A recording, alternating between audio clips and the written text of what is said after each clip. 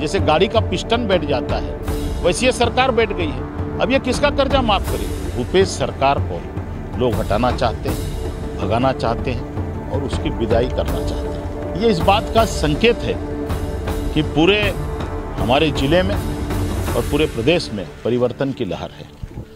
जांजगीर चांपा में आज भाजपा ने बड़ा शक्ति प्रदर्शन किया है और एक नामांकन रैली में केंद्रीय मंत्री मनसुख मांडविया जी भी आए थे। नेता प्रतिपक्ष और भाजपा के प्रत्याशी नारायण चंदेल जी से बात करेंगे। जिस तरह से ये शक्ति प्रदर्शन हुआ है, किस तरह की रणनीति रही, किस तरह से जीत का संकल्प? देखिए, आज भारतीय जनता पार्टी के हमारे तीनों प्रत्याशियों ने अपना नामांकन पत्र दाखिल किया और विशाल रैली के साथ में किया। आज पूरा हमारा जिला मुख्यालय जांजगीर, भाजपा मय था। चारों तरफ़ सड़कें जाम थी और भाजपा के कार्यकर्ता ही नहीं, आम नागरिक भी इसमें शामिल थे। दो किलोमीटर लंबी ये रैली थी और जन सैलाब इस रैली में भाजपा के पक्ष में उमड़ा था। ये इस बात का संकेत है कि पूरे हमारे ज़िले में और पूरे प्रदेश में परिवर्तन की लहर है। छत्तीसगढ़ की भूपेश सरकार को लोग हटाना चाहते हैं भगाना चाहते हैं और उसकी विदाई करना चाहते हैं। कर्ज माफ़ी की घोषणा मुख्यमंत्री भूपेश बघेल ने की है। किस तरह से इस पूरी घोषणा को आप देखें? कर्ज माफ़ी की घोषणा की नहीं है उन्होंने तो एक सभा में बोला है।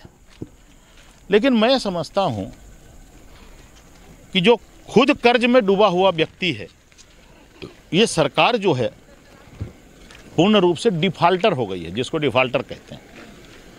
एक लाख करोड़ रुपया का कर्जा इस भूपेश सरकार के सिर पर है। अब वो छत्तीसगढ़ की जनता के सिर पर है। अब जो सरकार स्वयं कर्ज से डूब करके कराह रही है, विकास के सारे काम ठप हैं, जो पार्टी फेल हो गई है, पूरी तरीके से चरमरा करके बैठ गई है जैसे गाड़ी का पिस्टन बैठ जाता है वैसी ये सरकार बैठ गई है। अब ये किसका कर्जा माफ़ करेगी? अभी जिस तरह से जांजगीर चांपा में अब चतुष्कोणीय मुकाबला हो गया किस तरह से देखते हैं यहाँ पर? अ, अभी जनता कांग्रेस छत्तीसगढ़ ने भी प्रत्याशी घोषित कर दिया। देखिए हमारे लिए कोई चुनौती नहीं है। बड़े अंतर से सबसे बड़े अंतर से इस बार भारतीय जनता पार्टी यहाँ से विजयी होगी। कांग्रेस प्रत्याशी बड़ा आरोप है कि इस बार जो 2013 में जो हार हुई थी, उसी तरह से हार जो है बीजेपी की होगी। एक बड़ा दावा किया जा रहा है इस पर देखिए, कांग्रेस प्रत्याशी के बारे में क्या कहना? कांग्रेस प्रत्याशी के बारे में तो मैं यही कहूँगा कि सूपा बोले तो बोले, चलनी क्या बोले, जिसमें सैकड़ों छेद। हम लोग हल्के स्तर की बात नहीं करते, ठीक है?